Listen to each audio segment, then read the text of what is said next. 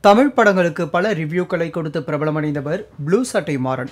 தற்போது இவர் இயக்குனராக அறிமுகமாகியுள்ளார். இவர் இயக்கியுள்ள ஆன்டி இந்தியன் படம் வெளியாகி நல்ல வரவேற்பையும் விமர்சனங்களையும் பெற்று வருகிறது. இந்நிலையில் இந்த படத்திற்கு புதிய சிக்கல் ஏற்பட்டுள்ளது. அதாவது ஆன்டி இந்தியன் படத்திற்கு சிங்கப்பூரில் தடை விதிக்கப்பட்டுள்ளது. மதம் சார்ந்த சர்ச்சைக்குரிய காட்சிகள் மற்றும் வசனங்கள் படத்தில் இடம்பெற்றுள்ளதாக கூறி சென்சார் வழங்க எக்ஸாமின் கமிட்டி மறுப்பு தெரிவித்துள்ளது. இதனையடுத்து மறு தணிக்கைக்கு படக்குழு விண்ணப்பித்துள்ளது.